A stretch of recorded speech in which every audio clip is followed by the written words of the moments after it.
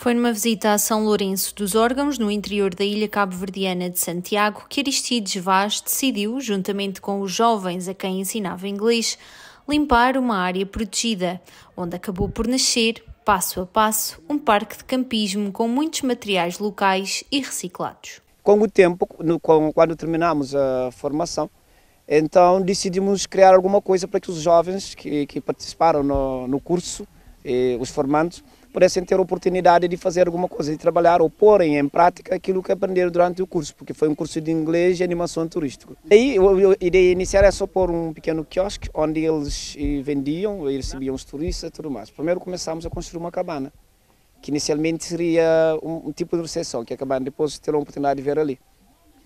O que, que aconteceu? As pessoas começaram a vir, Alguns traziam tendas, podemos acampar sim, deixavam tendas, depois com o tempo o que, que aconteceu? As pessoas vinham, podemos acampar aqui, aqui sim, deixavam as tendas, próximos que vinham ficavam, foi criando, depois pediam alimento, fomos, então com o tempo até chegou a fase que estamos atualmente, que é de um, um parque de campismo multifuncional. Como disse, desde o início, o objetivo principal é cuidar do meio ambiente. Então, é, é cuidar do meio ambiente.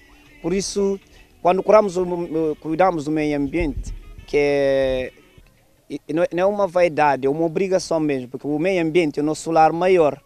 E quando cuidamos do meio ambiente, recebemos algo em troca. Então, Lamba Lamba é, é o resultado de cuidarmos ou mimarmos o meio ambiente, ela cuida de nós. Então, tudo que está acontecendo atualmente, nunca tinha, foi ideia criar um negócio, e nem atualmente vemos Lamba Lamba como um negócio, e é uma obrigação de cuidar o meio ambiente e ela cuida de nós. Aqui há a particularidade, e, podemos dizer que Lamba Lamba é uma espécie de um museu coletivo. Cada pessoa traz uma peça que tem em casa que não usa, traz ali. E como o próprio nome diz, lamba, lamba, passo, passo. Então ela foi construindo.